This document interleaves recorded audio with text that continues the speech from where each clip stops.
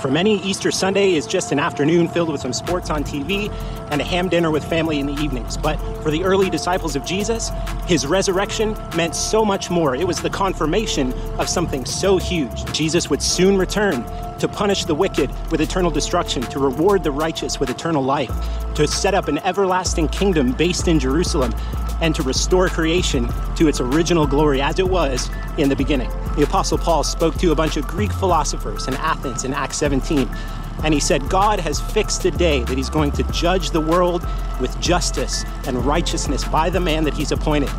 And the proof of this he has given to all by raising him from the dead.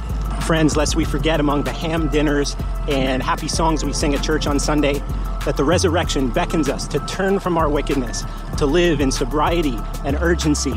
As we look forward to everything that God has promised, He surely is going to do everything that He said.